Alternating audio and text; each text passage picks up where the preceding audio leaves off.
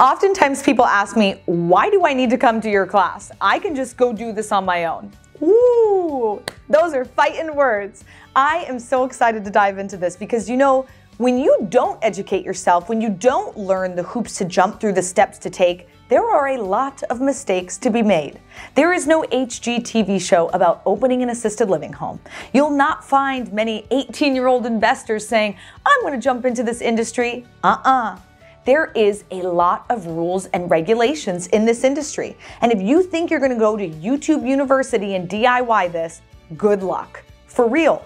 Because we often have people who will come to us and say, I've watched some of your free videos and I bought this home and I did all these renovations and now they won't license me. Or I got licensed and no one's moving in. And when I look at the home, they sent it to me and they did not come to class.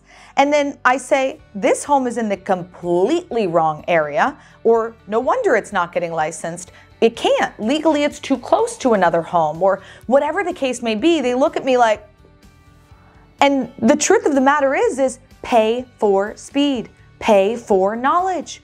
Why would you bypass the people who are going to teach you every single thing that you need to do to be successful in this, to get down the fastest, easiest, most painless route possible.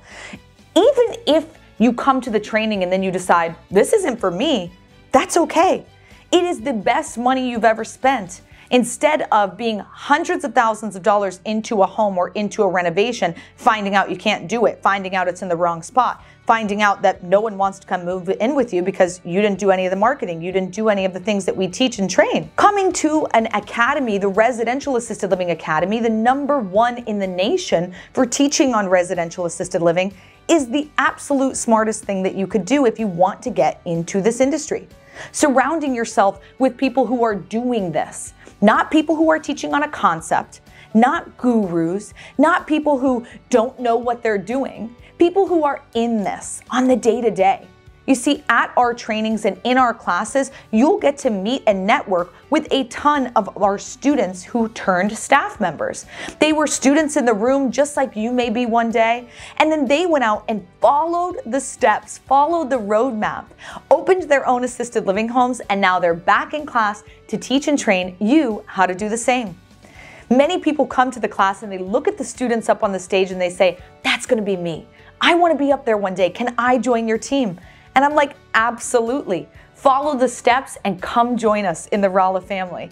I love having students who are successful who come back and say, I want to give back more. You know, I want to help with RALA's mission to positively impact 10 million people through residential assisted living. They, they hear that mission, they get on fire, they get on board, they grow that passion inside of them. They do it themselves, they see what a change and an impact it's made in their own life, and then they turn around and say, It's time for me to give back. Because so many people are asking me questions about this. And that's the reality of it.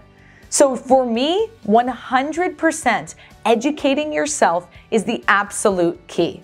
If you don't have the steps, the method, the learning from other people's mistakes, you are going to make them. You will. You're going to spend way more time, way more money. Hear me loud and clear. It is a big mistake if you don't educate yourself on any real estate investment opportunity before you jump right into it.